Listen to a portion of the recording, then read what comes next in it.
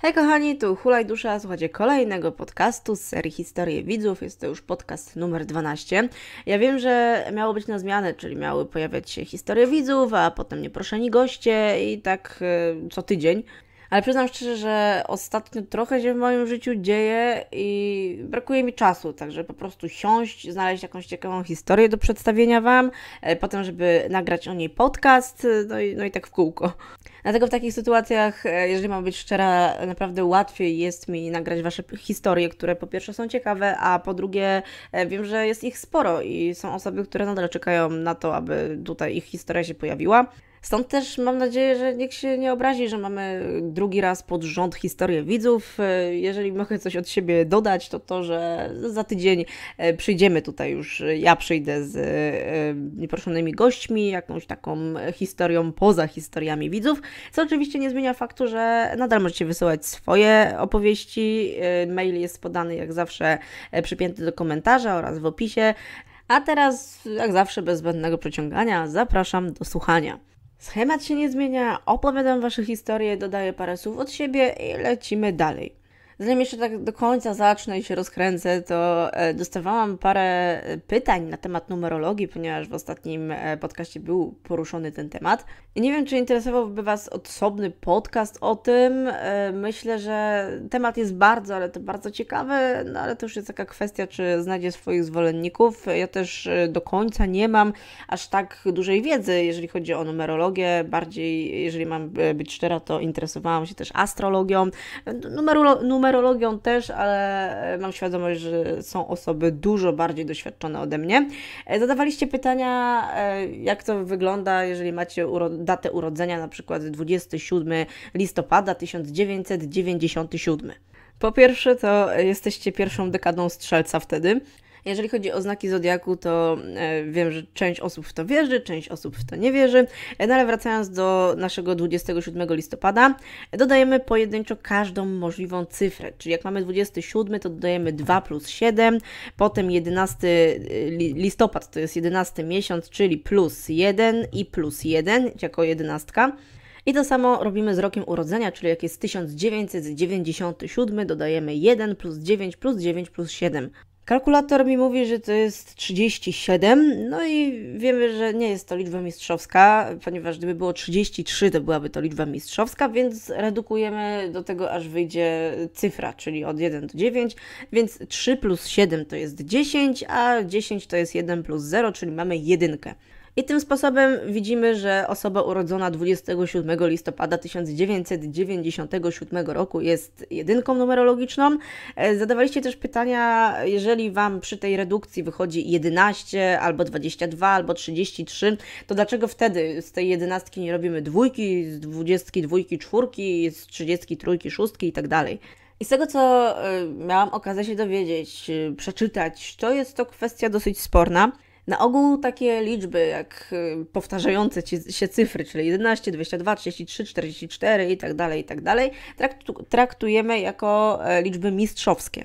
Niektórzy nazywają osoby z liczbami mistrzowskimi starymi duszami. Ogólnie, jeżeli chodzi o samą liczbę mistrzowską, e, to niesie ona za sobą dużą wibrację oraz y, większą moc. Każda z tych liczb ma swoją własną drogę życiową, swój własny, e, swoje własne zadanie do spełnienia, przynajmniej tak rozpisują się wszelkiego rodzaju książki i portale na temat numerologii. E, niektórzy też podają, że jeżeli chodzi o liczby mistrzowskie, to tak naprawdę wyróżniamy tylko 11, 22 i 33. Jak już jest 44, 55 i tak dalej, to już tego nie bierzemy pod uwagę. Ale to już kwestia, e, w jakiej szkole jazdy się znajdujemy. Jeżeli jesteście zainteresowani takim podcastem, to no, dajcie znać po prostu w komentarzu. Dowiem się trochę więcej. Mam też parę książek o numerologii. Mogę poczytać, mogę się dowiedzieć, no i mogę Wam e, trochę o tym opowiedzieć.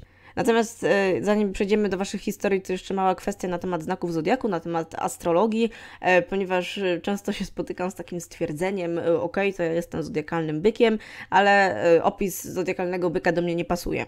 E, ja powiem, że jestem zodiakalnym rakiem i do mnie opis zodiakalnego raka też w żadnym wypadku nie pasuje.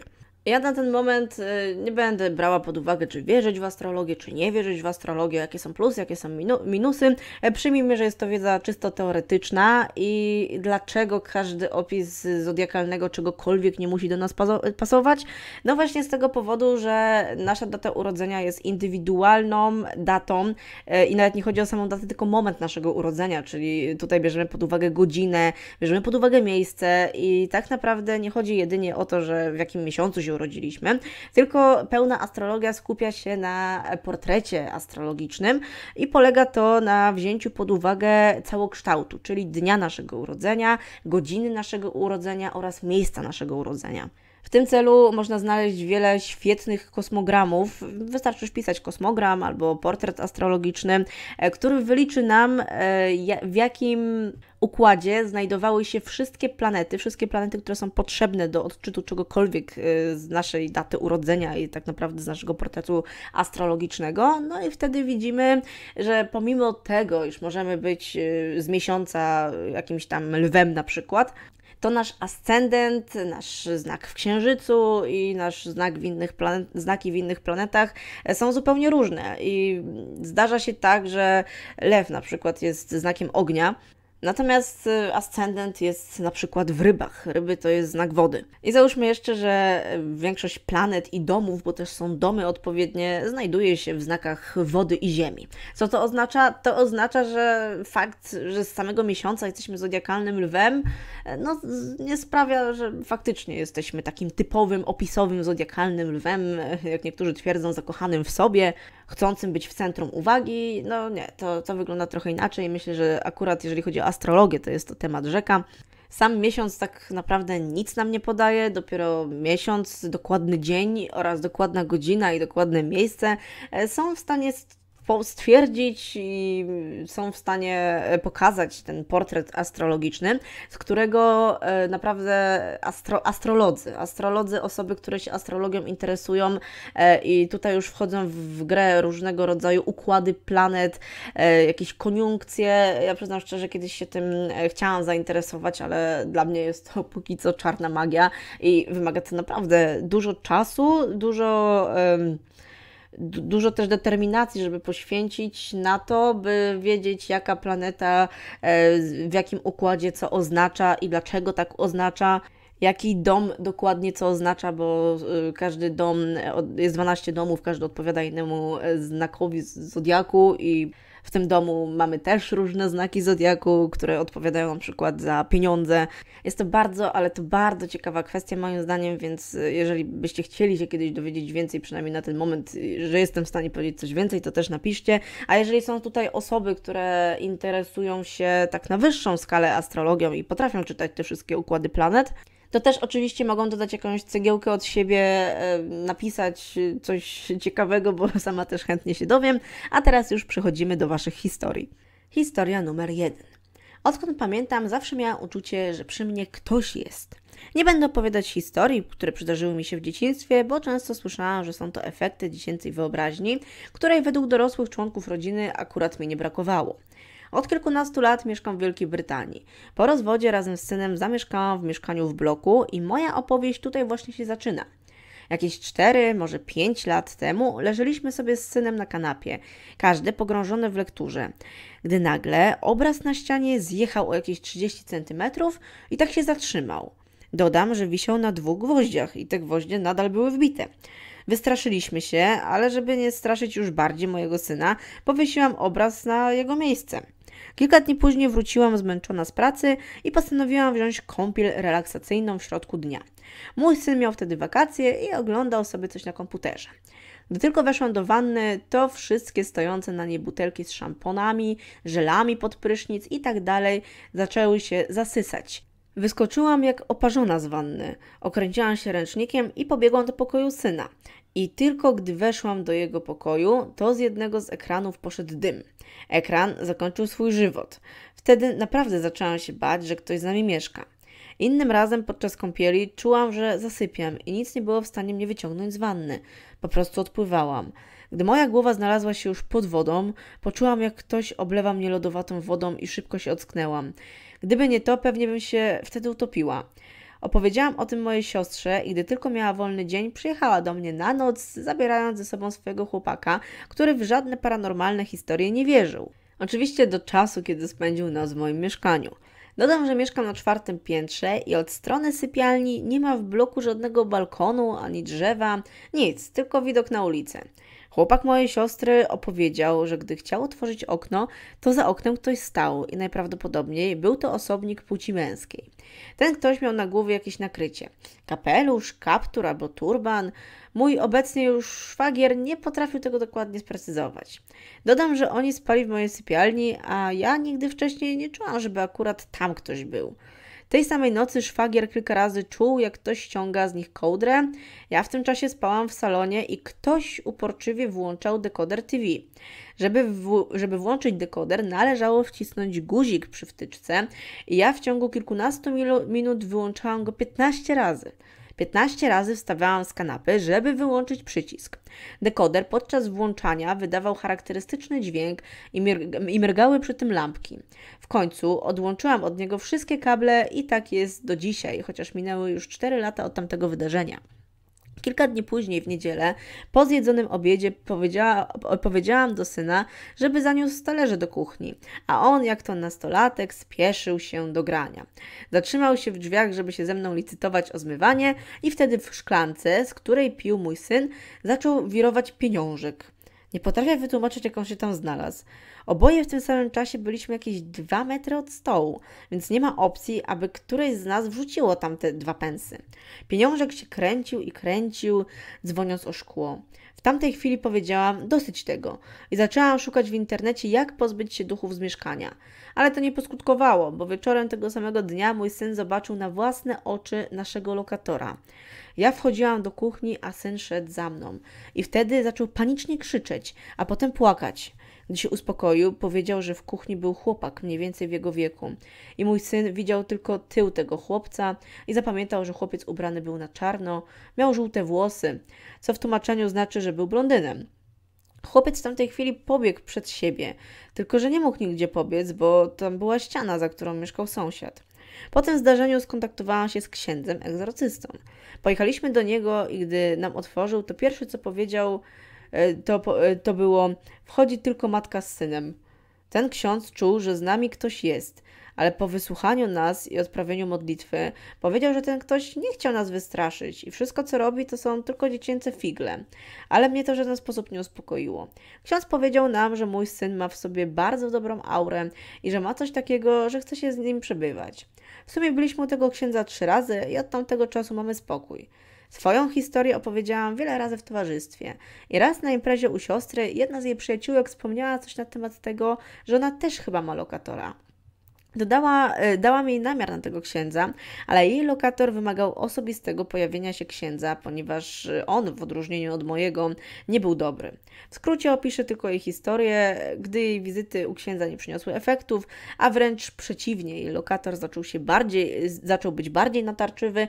Ksiądz postanowił przyjechać osobiście do jej mieszkania i możesz mi wierzyć albo nie, ale ksiądz, stając przed drzwiami do jej mieszkania, bał się dotknąć klamki.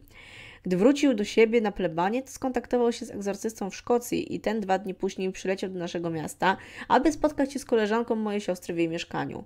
Skończyło się na tym, że wystawił pismo do Urzędu Miasta o przyznanie tej dziewczynie innego mieszkania i w tym liście uzasadnił wszystko, czego doświadczył, będąc wtedy w tym mieszkaniu.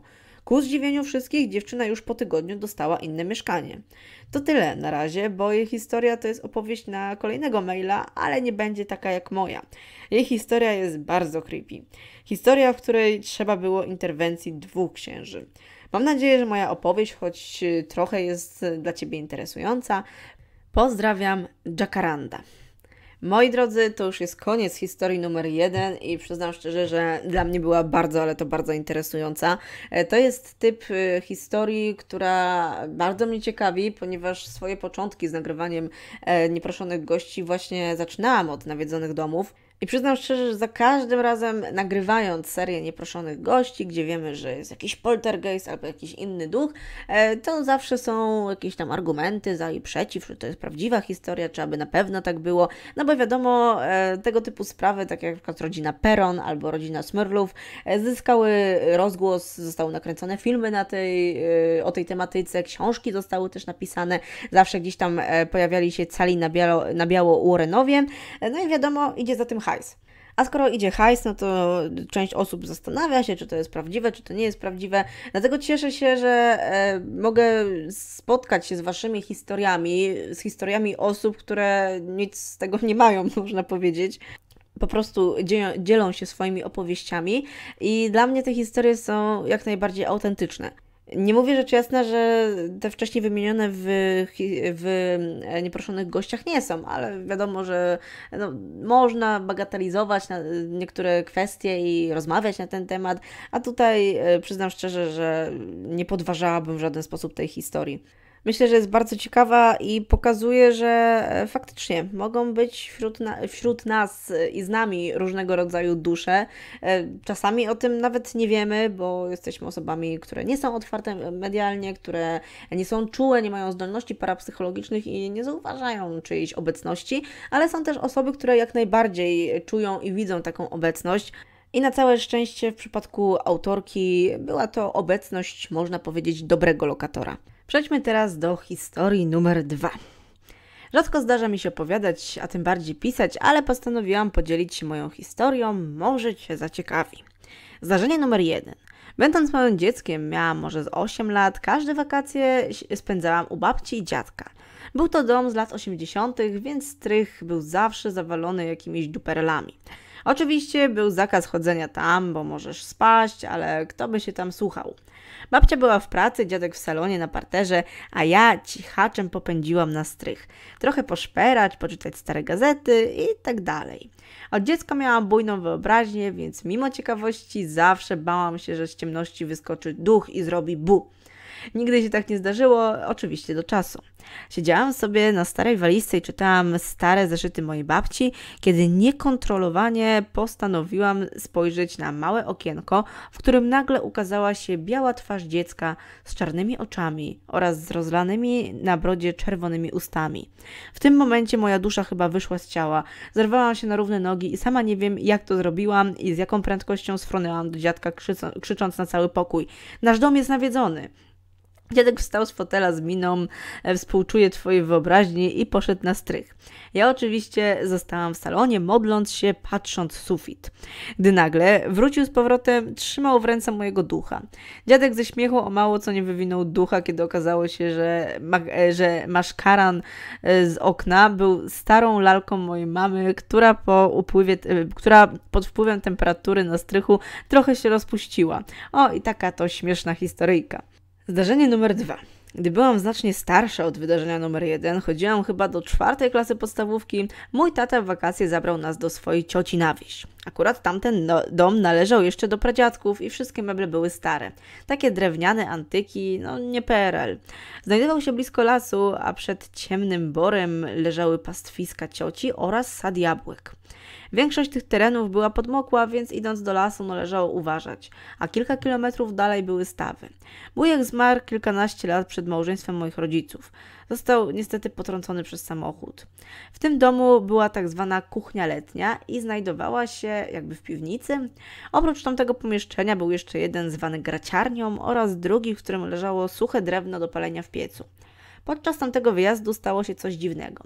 Gdy ciocia kazała mi zejść do tamtej kuchni po ziemniaki, a ja jako grzeczne dziecko zeszłam, będąc na dole przeszył mnie taki dziwny, mistyczny dreszcz, a w mojej głowie zrodził się obraz wysokiego, bardzo szczupłego mężczyzny ubranego w długi, ciemny płaszcz i cylinder. Czułam, że nie miał złych intencji. Był bardzo smutny i samotny. Miałam wrażenie, że nie chciał pokazać mi swojej twarzy, bo wystraszyłby mnie jego żal. Ale i tak się wystraszyłam. I nagle, jak ta myśl się pojawiła, to powoli odeszła z mojej głowy. Zabrałam te ziemniaki, ale od tamtej pory bałam się tam wchodzić, ciągle czując, że coś jest pod tym domem, coś samotnego i smutnego. Podczas kolejnych odwiedzin ten smutek nie przestawał mnie opuszczać. Ciągle czułam się obserwowana i pilnowana. Zdarzenie numer 3. Kolejny raz, kiedy stało się coś dziwnego, był już na świecie mój brat, który miał 4-5 lat. Pamiętam, że były to święta wielkanocne, a my wybraliśmy się na kilka dni do wspomnianej już cioci. Była dziewiąta rano, kiedy mój brat chciał pobawić się w ganianego za starą stodołą obok sadu jabłoni. Fajnie bawiliśmy się ganiając, kiedy dostrzegłam, że pojawiła się mgła. Podeszłam do brata i poprosiłam, abyśmy wrócili. Wtedy on wyprostował się i oznajmił, że on tutaj zostaje, bo uwaga, chce się z nimi pobawić. Zdębiałam, a mgła wydawała się jeszcze bardziej przerażająca, więc pytam się brata, z kim chce się bawić. A on, że z nimi. Już zaczynałam żałować mojego pytania i próbuję złapać brata za rękę, a ten smarkulec robi krok do tyłu i mówi, cytuję, ja chcę tutaj z nimi zostać, chcę się z nimi pobawić. W tym momencie miałam wszystko gdzieś. Wzięłam smarkacza na ręce i popędziłam do domu. Przez resztę dnia już nie zostawałam sama z bratem. Coraz bardziej zaczęłam czuć się tam dziwnie, inaczej. Na przykład y, podchodziłam do sekretarzyka i czułam emocje. Nie swoje uczucia, tylko innych, tych, których już z nami nie ma. Radość, uczucie przemijania, ale zazwyczaj czułam smutek. Podsumowując, po tych wszystkich wydarzeniach coraz częściej zaczynałam czuć emocje przy rzeczach i do tej pory tak jest. Jestem w stanie być na cmentarzu i wyczuć, kto, e, kto zaznał spokoju, a przy którym grobie kłębią się uczucia. Czasami jakbym słyszała wołanie – nie jest to problem psychiczny, ale jakby w moim umyśle pojawiały się słowa innych. Nadal mnie to przeraża, choć powoli zaczynam to akceptować. Miałam w życiu jeszcze jedną sytuację, wtedy naprawdę się przeraziłam, a jeżeli będziesz ciekawa, to ją napiszę i tak już się rozpisałam. Mam nadzieję, że uda Ci się skomentować mój przypadek i sama w pewny sposób bardziej zaakceptuję te stany. Życzę wszystkiego dobrego, pozdrawiam Agata. Również pozdrawiam i bardzo dziękuję za podzielenie się swoją historią. Jak najbardziej widać tutaj, że autorka ma zdolności parapsychologiczne oraz jest empatką. Nie mylić z psychopatką. To są dwie różne rzeczy. Niektórzy w sposób naturalny odczuwają emocje, uczucia innych osób. Myślę, że nawet gdzieś tam, przynajmniej w moich rozważaniach, kwalifikowałoby się jako zdolności parapsychologiczne, bo jednak e, niektórzy potrafią czuć emocje innych, nawet jeżeli inni starają się te emocje swoje zamaskować. Tutaj bardzo ciekawe jest to, że autorka czuje emocje i uczucia ludzi, których już z nami nie ma, przynajmniej nie ma fizycznie. To by też mogło oznaczać, że e, być może niektóre dusze nie przeszły na odpowiednią stronę, nadal się tutaj błąkają, a autorka czuje ich obecność i ich stan.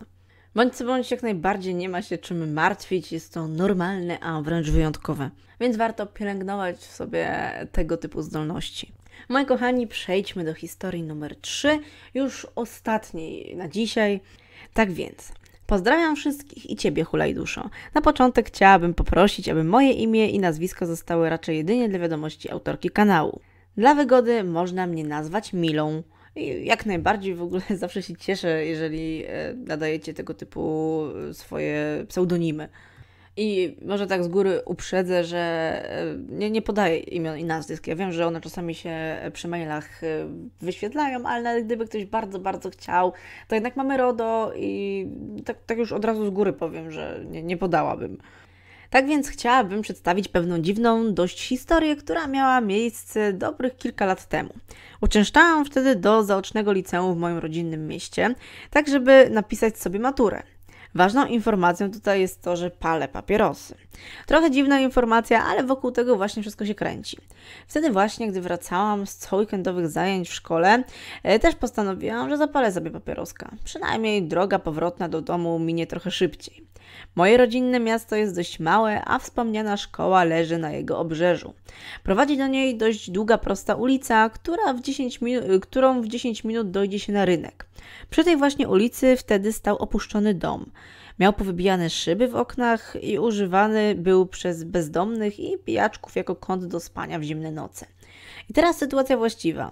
Przechodząc właśnie obok tego zrujnowanego domu, kończyłam palić i usłyszałam w głowie krótkie zdanie, jakby polecenie. Wrzuć tego peta do środka.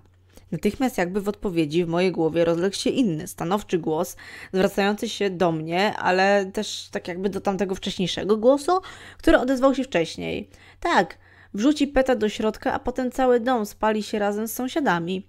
To wszystko trwało może ze 3-4 sekundy, przez które minęłam ten dom, rzuciłam niedopałek na chodnik i zdeptałam go. Poszłam dalej. Ta cała historia z pewnością wyda się dość śmieszna i mnie samą też śmieszy, ale mimo wszystko jest w niej coś takiego, co sprawia, że gdzieś z tyłu głowy skóra mi lekko cierpnie. I moi kochani, e, to jest cała historia. Ja bardzo dziękuję za jej napisanie, ponieważ e, myślę, że może być ona takim małym wstępem do tego, co już wcześniej chciałam powiedzieć e, a propos niektórych sytuacji paranormalnych. Po pierwsze, jeżeli takie sytuacje nie zdarzały się już później autorce, jeżeli to był jakiś tam jednorazowy jedynie wyczyn, jednorazowa sytuacja, nigdy później nie było momentu, gdzie jakieś głosy się sprzeczały w głowie, E, to nie ma się czym martwić. Może, może tak to powiem, bo zaraz może ktoś zacznie zarzucać, e, że to jest dosyć typowe na przykład dla nerwicy natręctw, bo jest to dość e, ciekawy temat. Niektóre osoby właśnie słyszą takie natrętne myśli w formie głosu w głowie. I czasami są to niezbyt pozytywne głosy ale jeżeli to jest raczej jednorazowa sytuacja, to nie ma się czym przejmować. Ja bym chciała do tego dojść, podejść z trochę paranormalnego przykładu, ponieważ e, czytając moją ulubioną książkę, którą już tutaj podawałam chyba e, za każdym razem, e, czyli Życie po życiu, był rozdział na temat dusz, które zostały tutaj na Ziemi i te duszy od, dusze od czasu do czasu mogą próbować się z nami kontaktować. I robią to w przeróżne sposoby. Na przykład y, jakaś myśl, która pojawia nam się w głowie i, y, i której nigdy się nie spodziewaliśmy, nie jest to myśl w naszym stylu. Można to traktować jako jakiś taki szósty zmysł. I rzekomo właśnie w ten sposób czasami te dusze chcą nam coś przekazać, E, nie mówię, że tak było w tym przypadku, ale jest pewna hipoteza, e, opierając się na tym, co przeczytałam w książce, że może faktycznie w okolicy tego domu coś się wydarzyło, miało to jakiś związek z ogniem i dusze tam zostały, przynajmniej niektóre. I w momencie, kiedy jakiś przechodzień sobie idzie ulicą, to przez pewien moment pojawia się ta myśl, e, która tak naprawdę nie jest naszą myślą, tylko jest myślą tej, tej duszy, która została. Nie wiem, czy rozumiecie, bo to jest dosyć dziwne, skomplikowane. Ja tutaj przekazuję to, co przeczytałam. Jest to jeden z przykładów, bo e, o wiele częściej dusze starają się skontaktować z nami w inny sposób. Na przykład, nie wiem, czy kiedykolwiek mieliście taką sytuację, że wchodzicie do jakiegoś pomieszczenia, albo nawet normalnie idąc na ulicy i czujecie jakiś dziwny zapach. Zazwyczaj są to zapachy, e, jakieś perfumy, e, albo na przykład mogą to być papierosy. Bardzo często właśnie to są faje. Ja sama miałam tak kilka razy, że w moim domu nagle poczułam zapach kadzidła albo jakiś perfum, których zupełnie nie używam, ani nikt z domowników również. Czy to oznacza, że jakieś dusze nagle weszły mi do domu? No ciężko powiedzieć. Tak zakłada książka, którą miałam okazję przeczytać, e, ale ona też zakłada, że czasami te dusze są w stanie wejść do naszego umysłu i przekazywać nam swoje myśli, czyli tak jak na przykład mogłoby być w przypadku y, autorki, w przypadku tej historii. Myślę, że to jest dosyć dalekosiężna teoria. Wiem nawet, że niektórzy próbowali w ten sposób tłumaczyć różnego rodzaju choroby e, albo zaburzenia, że, że, to nie są nasze myśli, tylko to są myśli jakichś duchów i próbowali to leczyć nie farmakologicznie, nie psychologicznie, tylko próbowali to leczyć właśnie pójściem do e, duchownego, który miałby zobaczyć, czy w naszej duszy, w naszym ciele, w naszym umyśle nie ma jeszcze jednej zjawy, czy, czy nie ma jakiejś osobnej duszy. E, jest to dosyć dosyć e, ciężki temat, muszę przyznać. No miałam okazję po prostu przeczytać o, tej, o tym w książce, że tak naprawdę można w ten sposób wyjaśnić wiele chorób, zjawisk, zaburzeń. Przyznam szczerze, że jestem do tego bardzo sceptycznie nastawiona. Bo o ile można opisać jakąś metaforę na zasadzie, że niektóre osoby mają wrażenie, że są w nich jakieś różne osobowości i tutaj na przykład mamy do czynienia z osobowością wieloraką, czyli osobowością mnogą e, i w ogóle jeżeli chodzi o osobowość mnogą, rozdwojenie jaźni, to jest to temat rzeka.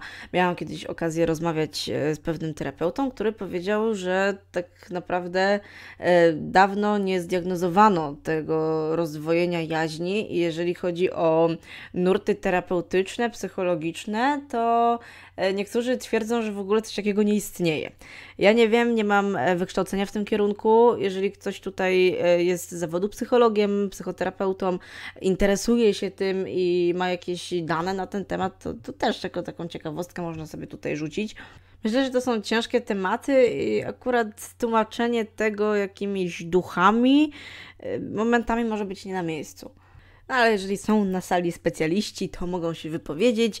E, moi kochani, to by było na tyle, jeżeli chodzi o historię, którą dla Was przygotowałam. Tak jak wspominałam na samym początku, trochę się u mnie dzieje i nie miałam czasu, aby przygotować taki, wiecie, pełnometrażowy materiał na temat jakiegoś nawiedzenia, na temat e, jakiejś głośniejszej sprawy. E, co nie zmienia faktu, że postaram się i prawdopodobnie to się uda na następny tydzień już taki materiał przygotować. Rzecz jasna, wciąż możecie wysyłać swoje historie. E, historii widzów nigdy nie jest za dużo. A póki co zachęcam Was do dołączenia do naszej małej zabawy, czyli osoby, które dotarły do samego końca, mam na myśli ten moment, e, piszą w komentarzu swój znak zodiaku, e, bo jestem bardzo ciekawa, e, czy, czy może jakoś statystycznie są znaki zodiaku, które słuchają tego typu spraw, tego typu podcastów, czy są jakieś znaki, które interesują się sprawami paranormalnymi. Jeżeli chodzi o czystą astrologię, to zazwyczaj mówi się, że są to znaki wodne, czyli skorpion, rak i ryby. Zwłaszcza ryby mają rozwiniętą intuicję, ale to jest taka, wiecie, no, astrologia ogólna. Jak już wspominałam na samym początku, składa się na to dużo więcej aspektów niż sam fakt, kim tam się jest zodiakalnie. Moi drodzy, e, zachęcam Was do dołączenia do grupy na Facebooku. Link, jak zawsze, znajduje się w opisie. A jeżeli Was fantazja poniesie, to zapraszam również na Instagrama. Do usłyszenia